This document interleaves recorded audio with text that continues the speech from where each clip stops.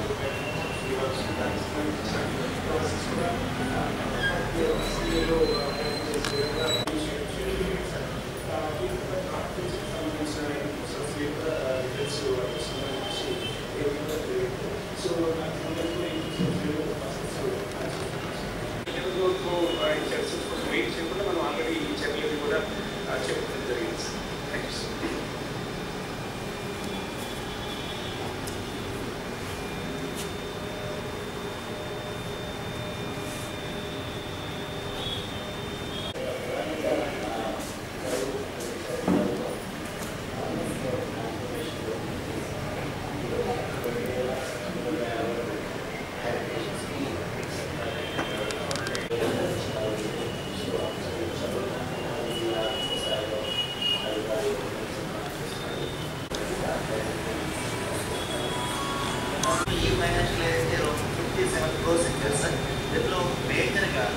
మనకి ఏవైతే లోన్ అనేది